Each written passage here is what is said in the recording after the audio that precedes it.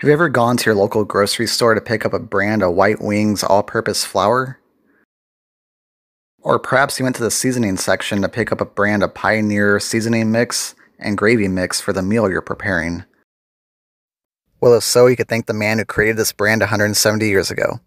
Join me as we look at the people of San Antonio's past, a brief look at the life of C.H. Guenther. Carl Hilmar Guenther was born on March 19, 1826, in Weissenfels, Germany. At a young age, Guenther took on the trade of being a millwright, which was a specialized carpenter who designed and constructed mills that were powered by water. And in 1844, he earned the honor of being accepted into the Guild of Master Millwrights.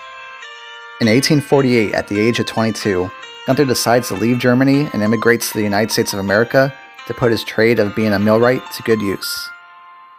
After spending three years of traveling through America, Guenther finally settles down in Fredericksburg, Texas in 1851.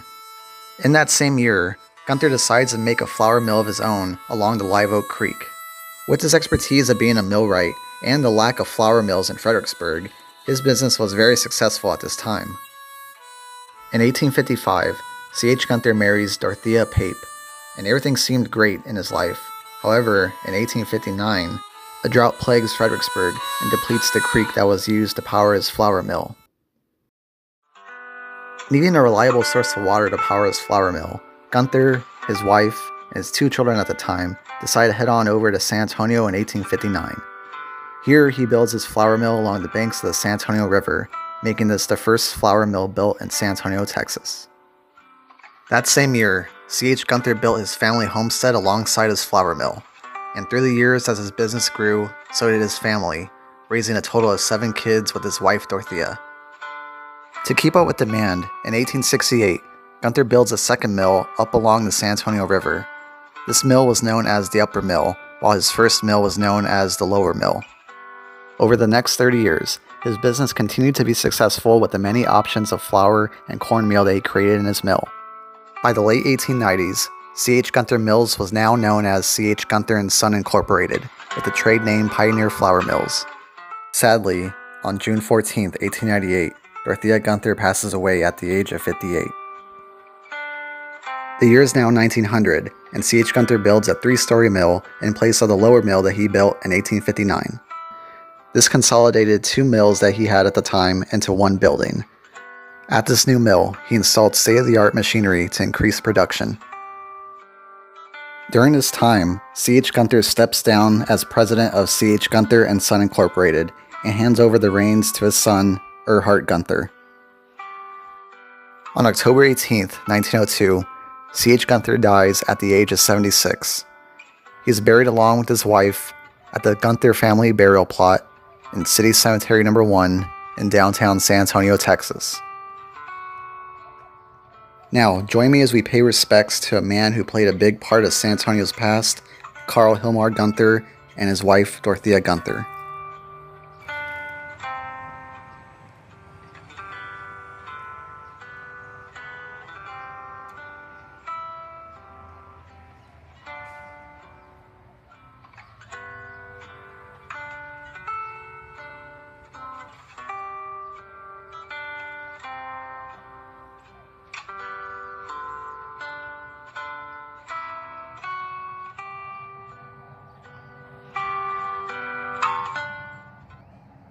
After his father's passing, Erhard Guenther made sure to keep his father's business alive.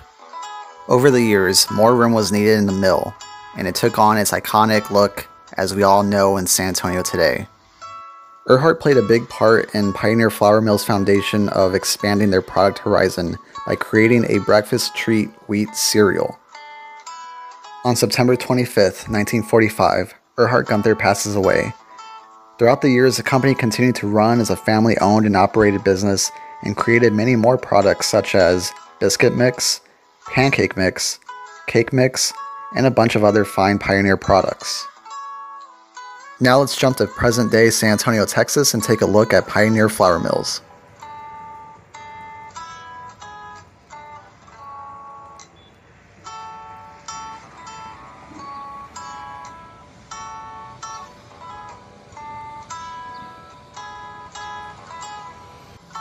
Located within the Pioneer Flour Mills facility is the Guenther House that was built in 1859 and completed sometime in 1860. The house is still in use today as a restaurant, museum, and banquet hall. While living in this home, Erhard Guenther made many interior and exterior changes to his childhood home, and the end result is what we see today.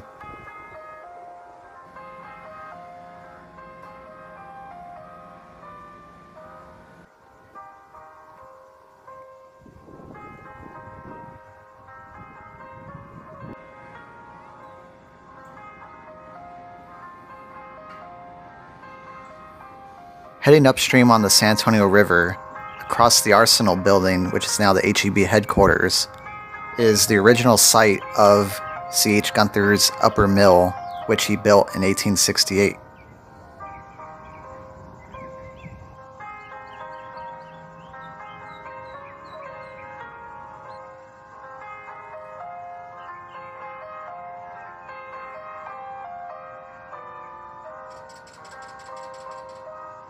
C.H. Guenther and Son Incorporated has a track record of success, and throughout its later years has acquired many other businesses under their wing. In April 2018, an investment firm by the name of Pritzker Group buys C.H. Guenther and Son Incorporated, ending their 167-year run as being a family-owned business. What started off as a small flour mill along the bank of the Live Oak Creek in Fredericksburg, Texas in 1851 CH Guenther and Son Incorporated was sold to this investment group for $1.4 billion. In conclusion, C.H. Guenther arrived in Texas during a time when there are no flour mills around, and with his skill of being a master millwright, he was able to create a very successful business that still runs today. And that concludes our video of the people of San Antonio's past. Be sure to leave your comments in the comment section below, and be sure to like and subscribe. Thanks for watching.